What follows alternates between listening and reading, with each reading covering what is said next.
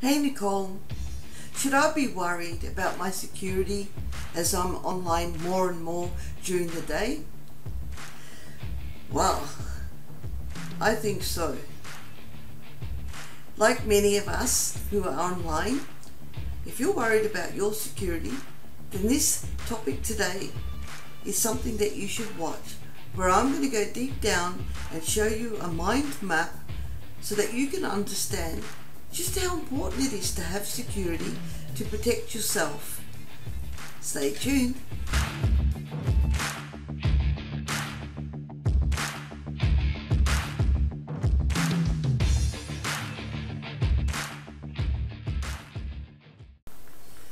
So the first question is, what do I need? There are three things that you need. One is the firewall, two is antivirus software, and three is up-to-date operating system. So today we're going to be covering what is a firewall. So a firewall, think of it as a digital barrier. So it blocks access to your computer unless you allow it. And how does it work? Well, it basically, it does protect. It protects you for, for many reasons. Think of a nightclub bouncer standing between the computers in your home and the troublemakers of the net. It also monitors all communication coming from the internet, allowing outsiders to access only the services you tell it. Modern desktops and laptops generally have firewall built in. In a public Wi-Fi network, for example an airport or hotel, there are attacks by worms. And worms are malicious software that is spread from one device to another across a network. So turn on your firewall to reduce the chance of a worm spreading to all devices that use your home network connection. How do I check if my firewall, firewall's turned on? Well, you turn it on in your Windows, which is through your control panel. And on a Mac, if you have a Mac, you turn the firewall on through System Preferences under Security. Does my firewall protect my computer from everything? No. It doesn't protect against malware, which is malicious software that includes viruses and spyware.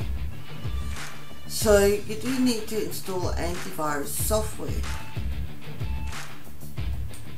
What does my antivirus software do? Well, it protects you against viruses, trojans, spyware, and worms. Ugh. How do you get the software? Well, there are many brands available in the market. In your computer shops, you can buy a antivirus software and it'll come with an activation code. Years gone by, they used to give you, used to be able to buy antivirus and it would come on a disc. But companies are really advanced now, so you don't need to have this anymore. You can actually go on the internet download the program and activate it by putting a code in. You can also, um, yeah, so that's covering online and where you can actually go and pick it up, which is your computer shops. My friend says I don't need antivirus software if I have a Mac. Is that true?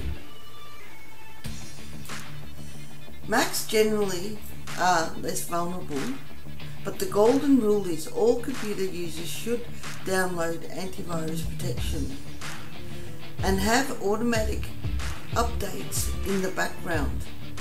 And that's really important because whilst you're busy working and you're busy, um, you know, busy lifestyle and you want to move towards having a digital lifestyle, it's great to just have automatic updates happening in the background.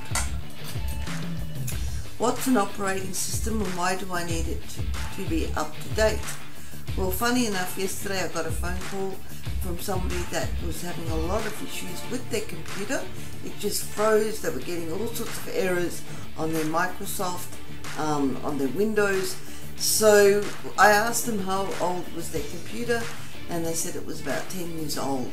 So sometimes even if your software is not up to date, that can also cause a lot of weaknesses in the system and allow you know trojans and worms and, and viruses to infect your computer. So so what's an operating system? It's a program that makes your com- computer run. Companies are striving these days to make computers more safe and they keep on creating updates. New operating systems are more likely to be more secure than older ones. So that was the scenario that I had yesterday somebody had called me and the computer was very, very old. So update your operating system when it becomes available. You can have automatic updates in the background like I said and you can also have it on manual but make sure that you do update it um, when it becomes available. How do you do that? You will get pop-up messages on your Mac and how you get that is that through your Apple menu through the software update. So you go to Mac on your Mac through the Apple menu and then software update. On your Windows it's through the control panel, security section and then you'll see Windows Update. What more can I do to make my home broadband secure? So here's a couple of tips here. Make sure it's a strong password. Your internet service provider, they usually do that for you, like whether it's through Telstra or through Belong or Optus, any of those internet service providers, they usually will have a very strong password for you, which is a mixture of upper and lowercase numbers and other characters. Other Wi-Fi networks, like your neighbours' networks, you can see theirs and they could probably see yours, but there's a padlock symbol and it's password protected. I have a strong password. Is there anything else? We'll turn off automatic connection to any available Wi-Fi network because that might be just insecure. And not all computers allow automatic connection, but it's worth checking that yours is disabled. I'm using a tablet. Are there any security steps I should take? Tablets and smartphones. Well, they don't generally have firewall and antivirus installed. iPhones will only allow you to download software from its uh, official app store and Android phones like your Samsungs, Motorola, Nokia's, um, Oppo, all those other Android phones, they have many antivirus software available that you can download.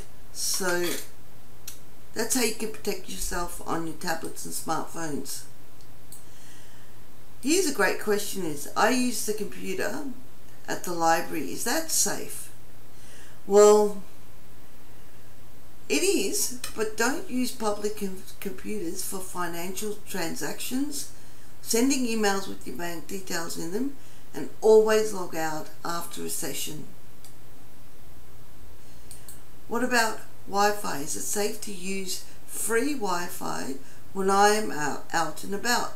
So a scenario could be that I'm in the shopping centre and there's a free Wi-Fi and some people are not sure whether they should connect or not.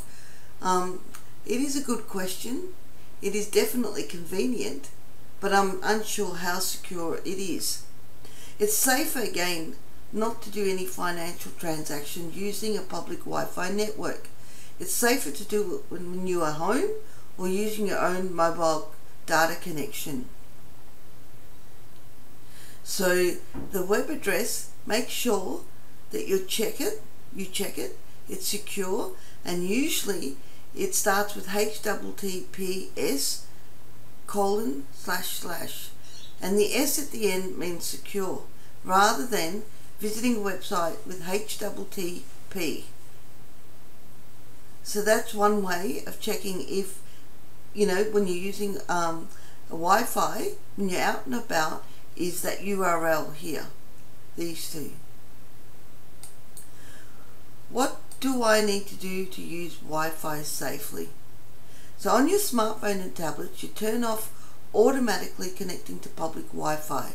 Right? Don't let that happen just naturally. You need to do it manually. In your cafes and restaurants, etc., check the exact name of the Wi-Fi network with the staff because it could be a fake.